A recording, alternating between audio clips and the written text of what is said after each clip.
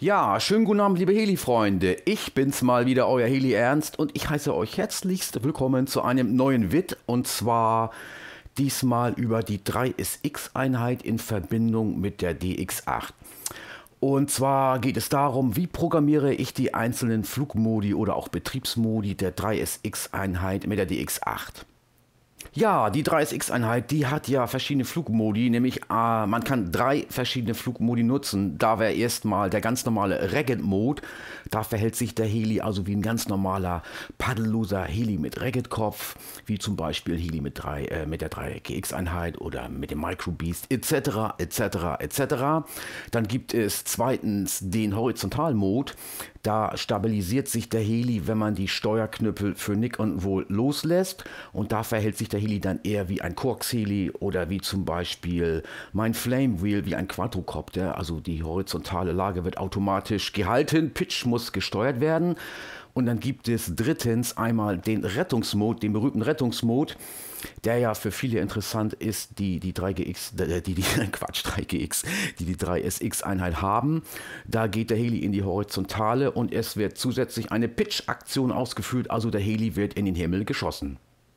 Und alle diese drei Betriebsmodi oder auch Flugmodi, ihr könnt es nennen, wie ihr wollt, werden über den Kopfkreiselkanal gesteuert.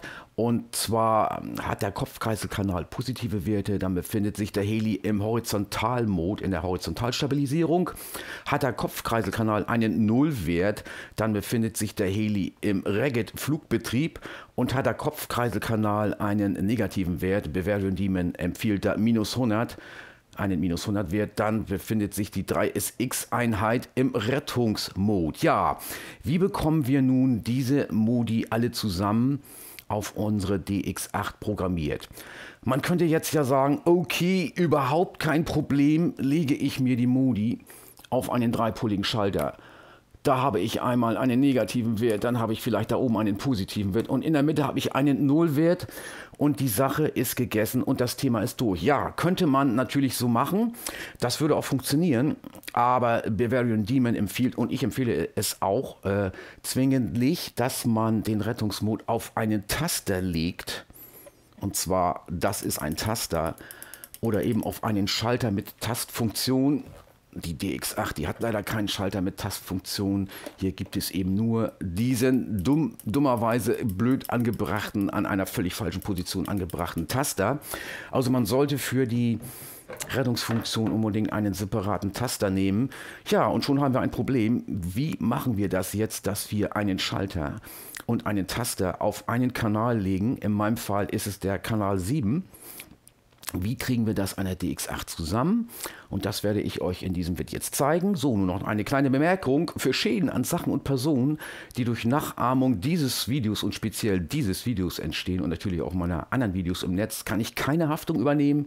Jeder ist selbst für seinen Kram verantwortlich, den er verzapft. Und als erstes werde ich euch jetzt mal zeigen, wie das Endergebnis dann aussieht von der ganzen Programmierung. Ja, meine Lieben, jetzt sehen wir uns mal das Endergebnis an und ihr müsst das äh, blaue Bild entschuldigen, das ihr gerade seht, denn ich musste mich mal wieder zwischen dem Weißabgleich Zimmer oder Monitor entscheiden.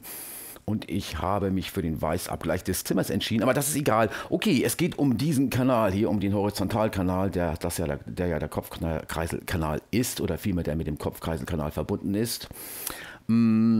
Wir sehen im Augenblick, dass der Regget-Stabilisierungsmodus eingeschaltet ist. Das kann man hier auch an dieser Diode sehen. Und ich habe das eben auf diesen Schalter gepackt. Schalter ganz nach oben ist der Regget-Betrieb.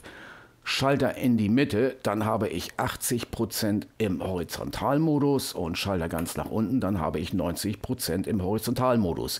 Diese 90% und diese 80%, die kann ich mir ganz wunderbar bequem im Sender einstellen und das einstellen, was ich brauche. Okay, und ich kann von jedem Modi aus, jetzt vom Horizontalmodus aus, drücke ich jetzt den Trainertaster und blob bin ich in der Horizontalstabilisierung und im, äh, in der Pitch-Aktion, das könnt ihr hier auch sehen, alle Leuchtdioden sind an. Und lasse ich den Taster wieder los, dann bin ich wieder im Horizontalmodus. Und das gleiche funktioniert auch, wenn ich im Ragged-Modus bin. Wenn ich vom Ragged-Modus aus den Rettungsschalter betätige, auch dann bin ich im Rettungsmod, also äh, Horizontalstabilisierung und Pitch-Aktion. Und wenn ich ihn wieder loslasse, dann befinde ich, wieder, befinde ich mich wieder im Ragged-Mode. Ja, soweit, so gut. Aber wie habe ich das gemacht? Aber vorher noch eine kleine Bemerkung. Vielleicht ist dem einen oder anderen Betrachter ja aufgefallen, wenn ich im Rettungsmod befinde, äh, mich befinde. Ich zeige es nochmal. Taster drücken, Klick, Rettungsmod. Dann seht ihr, dass der Wert auf minus 125 ist. Fragen sich sicher einige, oh, minus 125, geht das denn überhaupt? Ja, meine Lieben, das geht. Denn Bavarian Demon sagt, alle Werte, die größer minus 100 sind, werden intern in der 30x-Einheit als... Äh, minus 100 interpretiert. Also ich will damit sagen, minus 125 wird intern in der 3SX-Einheit als minus 100 interpretiert und die Welt ist in Ordnung. Okay, jetzt aber zur Programmierung. Wie habe ich das programmiert? Also erstmal geht es darum, dass man überhaupt den Horizontalmod und den Ragged-Mode auf den Kanal 7 oder auf den Horizontalkreiselkanal packen kann und sich irgendwelche vernünftigen Werte einstellen kann. Das habe ich sehr merkwürdig sicherlich für einige gelöst. Ich habe nämlich dafür die, zeige ich euch gleich, oder den Drehzahlregler benutzt. Da seht ihr ihn, die Drehzahlregelung. Und diese Drehzahlregelung, die habe ich mir auf den Geber Governor gelegt. Das ist dieser Schalter hier oben. Na, mal eben hoch schwenken. Ne? Der Schalter habt ihr ja schon mal gesehen. Auf diesen Schalter habe ich mir das gelegt. Und hier kann ich umschalten zwischen normalem Ragged-Mode und Horizontalstabilisierung. Die Schalterposition, die jetzt aktuell ist, seht ihr ja am Pfeil rechts. Äh, das ist der Ragged-Mode. Der ist mit 0% angegeben, denn 0% bedeuten Ragged-Mode. Und hier seht ihr die 80% Horizontalstabilisierung und hier seht ihr die 90% Horizontalstabilisierung. Und jetzt zack, ist das Licht wieder aus. Einfach eine ganz einfache Sache. Ich habe also nochmal den Ragged-Mode und habe zwei Horizontalmodi mit zwei verschiedenen Gain-Werten, wollen wir mal so sagen. Ich könnte mir natürlich auch gleiche Gain-Werte einstellen. Das kann man machen, wie man will. Okay, soweit, so gut. Man könnte auch einen anderen Schalter nehmen, einen zweipoligen Schalter. Ich habe halt diesen Schalter genommen, weil man ihn unwahrscheinlich bequem, wenn man fliegt, kann ihn unwahrscheinlich bequem erreichen und zack, man kann ihn schnell hin und her schalten und schnell umschalten. Er ist also bequem erreichbar. Also dieser Schalter ist mein Schalter für Horizontal und für Ragged Mode. Ja, so weit, so gut und das funktioniert auch wunderbar. Und jetzt wird die ganze Sache etwas komplizierter. So, und die Sache jetzt mit dem Rettungsmod, das kann man bei der DX8 nur über Mischer, äh, über Mischer lösen. Es gibt sicherlich verschiedene andere Methoden und verschiedene andere Möglichkeiten der Lösung. Ich zeige euch halt meine Lösung mal. Als erstes brauchen wir mal irgendwie einen Mischer, den man schalten kann. Aber es gibt halt in der DX8 keinen Mischer, den man schalten kann. Somit brauche ich irgendwie eine Möglichkeit, dass irgendetwas reagiert, wenn ich diesen Taster drücke. Okay, also habe ich mich dafür entschieden, den Kanal 8 als Hilfskanal zu benutzen. Das zeige ich euch mal eben. Da schalte ich den Sender mal aus und zeige euch mal, was ich da gemacht habe. Ich gehe jetzt in die Systemeinstellung rein. Und zwar gehe ich in die Schalterauswahl rein. Und wie ihr da seht, habe ich den Trainerschalter auf den Kanal 8 gelegt. Also, Trainerschalter liegt auf Kanal 8. So, das ist schon geschehen, habe ich ja schon gemacht. Ich gehe jetzt mal wieder raus und wir schauen uns mal an, was das für eine Auswirkung hat. So, jetzt kann ich nämlich was schalten. Ich kann also Kanal 8 mit dem Trainerschalter schalten. Ihr seht es unten, beachtet unten Kanal 8. Ich hoffe, ihr könnt das sehen. Ne? Ich drücke den Schalter, der Pfeil geht rüber, ich lasse den Schalter los, der Pfeil geht zurück, ich drücke den Pfeil, Schalter geht rüber, äh, äh, Pfeil geht rüber, ich lasse ihn los, und der Pfeil geht wieder nach rechts. So weit, so gut. Ja, ich habe jetzt also einen Kanal, den ich schalten kann zwischen zwei Extremwerten. Jetzt gehe ich mal zurück. Und jetzt kommt das eigentlich komplizierte an der ganzen Geschichte, denn jetzt kommt ein Mischer zum Einsatz. Und da muss ich mal gucken. Ich muss leider über den Kameramonitor arbeiten. Das ist ein bisschen lütt, das Ding. So, wir sind in den Mischern drin. Wir brauchen den zyklischen Gasmischer nicht. Wir brauchen den Taumelscheibenmischer nicht. Wir brauchen den Mischer 1. So, den Mischer 1, den aktiviere ich jetzt mal. Da habe ich auch schon alles eingestellt. So, was ist am Mischer 1 jetzt einzustellen? Der Kanal K8 ist in diesem Fall der Geberkanal, also die Quelle des Mischers. Und der Governor-Kanal, das ist der Kanal 7, das ist das Ziel des Mischers.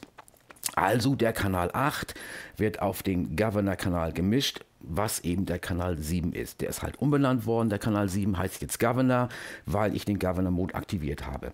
So, dann habe ich die Raten eingestellt. Das ist wichtig. Diese erste Rate bleibt bei 0. Diese zweite Rate wird auf minus 100 gesetzt und die Mitte wird verschoben auf plus 100. Dann habe ich die Flugmodi aktiviert, in denen das alles stattfinden soll. Ich will den Flugmodus normal drin haben. Ich will das im Flugmodus 1 machen kann, können. Ich will das im Flugmodus 2 machen können. Und ich habe auch äh, den Hold-Modus aktiviert, also Autorotation, was eigentlich keinen Sinn macht, denn da ist der Heli am Boden, habe ich trotzdem aktiviert. So, und in diesen 1, 2, 3, 4 Flugmodi arbeitet jetzt der Mischer. Und da ich Kanal 8 schalten kann, ist das sozusagen eine Schaltfunktion. Jetzt könnt ihr auch sehen, wenn ihr links rüber schult, da gibt es nämlich eine Servoanzeige.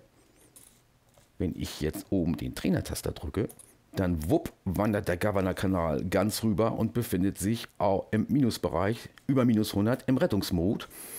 Und schalte ich jetzt in die Horizontalstabilisierung. Auch da klappt es. Dort wandert die Governor-Anzeige ganz links rüber in den Rettungsmod. Und gehe ich auf die Horizontalstabilisierung ein etwas höheres Gain. Auch da ist das Display erstmal aus. Auch da geht der Governor-Kanal, was ja der Kanal 7 ist, ganz rüber in den Rettungswut. Ja, liebe Leute, so kann man es machen, wie ich es gemacht habe. So muss man es natürlich nicht machen.